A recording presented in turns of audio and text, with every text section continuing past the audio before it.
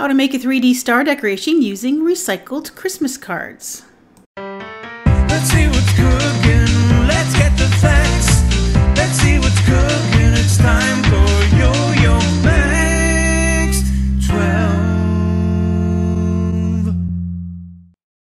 Hello everyone! First thing you're going to need are two templates to make this. You, they can be found on a website and I will put a link in the description box so you can go there and print them out. This first one is for the star points.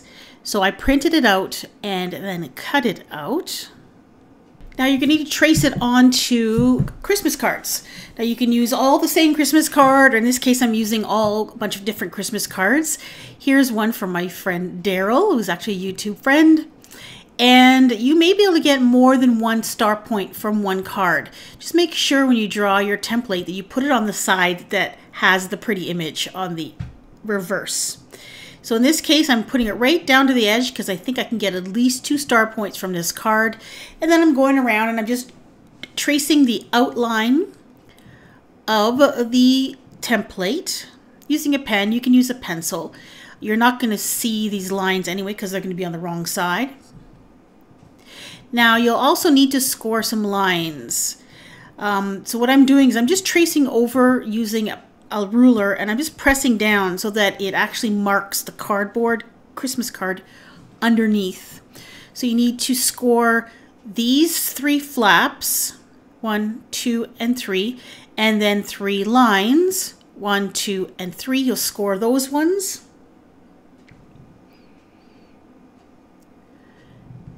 Scoring it just makes it easier to fold afterwards. Now you can see when I tilt the paper, you can see the little dents that it made in the actual Christmas card when I pressed down with the pen. And then I cut it out. Now you're going to fold along those score lines. And then I just used a uh, just a pen just to reinforce the fold so it was nice and crisp. So I folded the two main long lines and then there are four little flaps, three at the top and one on the side. And I also did the same thing. I made sure that they were nice and crisp. And that's basically one star point. We just need to glue it together. Now you can see that long flap, the long one, is going to go inside so that you don't see it. Now you can use regular glue for this, but hot glue works really well because it holds solidly and it is so quick. I find using regular glue on a shiny Christmas card can be tough because it doesn't want to hold together very well. So put a little bit of hot glue and then you're going to fold it over and make sure that flap is on the inside. And you might get a little hot glue squishing out. Just make sure you rub that off while it's still warm so you can remove it. And then you're just going to fold those last three small flaps down just so that they make like a flat surface. And that is one star point. You need 20 of these to make a completed one. And I decided to get two points from one card and I cut out another one. Now you don't have to use this particular size of star. You can make a, a, much smaller one if you want to. You can just scale it down. The other template you'll need is this one. This is going to make the center hub that all of those star points are going to attach to. So I printed it out on cardstock because I wanted it to be solid. And then I scored using a ruler all those lines because all those lines are fold lines that are on there. You'll have a bunch of little flaps and then you'll have all these little triangles. So after it's all scored, you need to fold it up this is going to be hard to describe. It's it's easier to do than it is to describe. You're basically going to fold it so that it makes kind of like a ball shape. And each facet of the ball will have like a pentagram, like a five five-sided star on it. So for the very first one, I'm going to use some hot glue here again. For the very first one, you can see I'm just putting the attaching that flap. And see how it makes like a little star on one face? Then you're going to turn it and you're going to glue the rest of the flaps.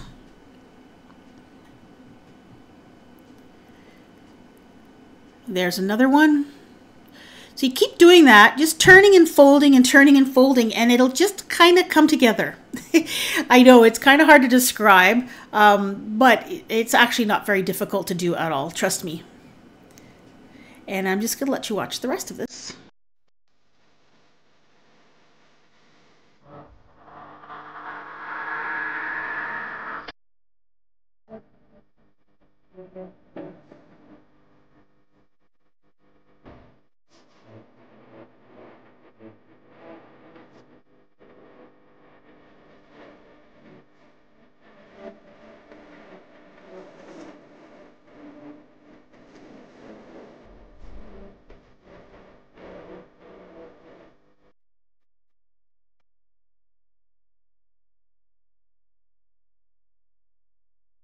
Here we are down to the very last flap. The very last one is a bit difficult to do because you can't really push from the inside to, to press it together.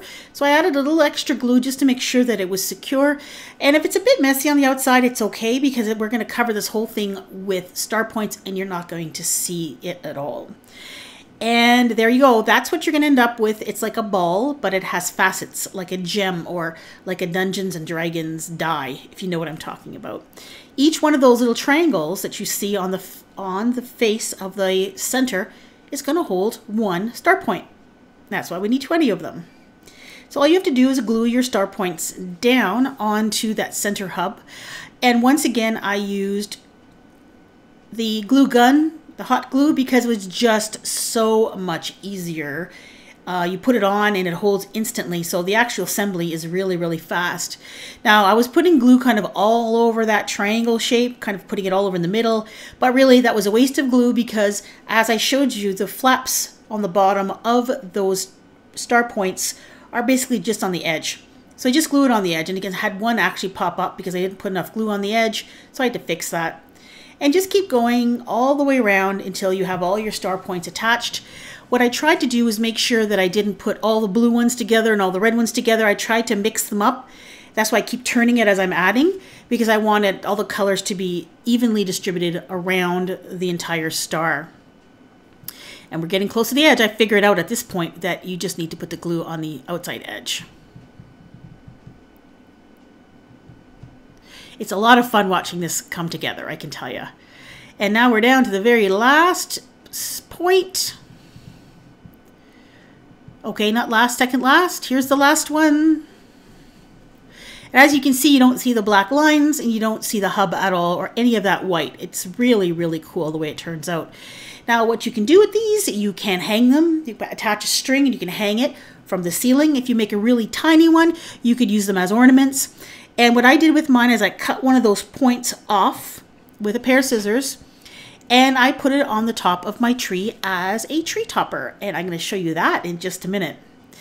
What's nice about this is when you turn them, you get a kind of different look at all the different Christmas cards, which is kind of fun. And there it is at the top of my tree.